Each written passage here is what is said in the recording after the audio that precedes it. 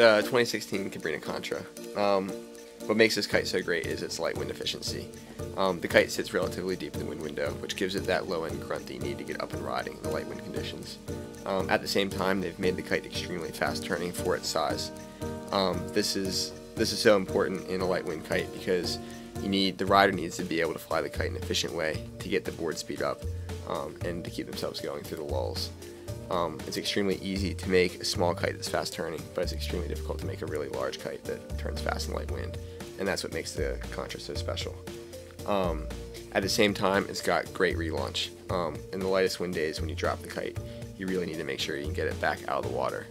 Um, and the fact that the kite has that relaunch is what makes it that safe, user-friendly kite in those light wind conditions.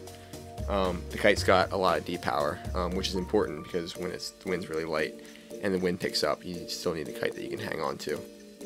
And this combination of the high depower with the fast turning um, allow the kite to jump really great as well. Um, you can send the kite quick in light winds with the kite depowered, cheat in, and it boosts surprisingly well. Um, at the same time, the fast turning and how it sits farther back in the wind window make it work surprisingly well in the waves um, too.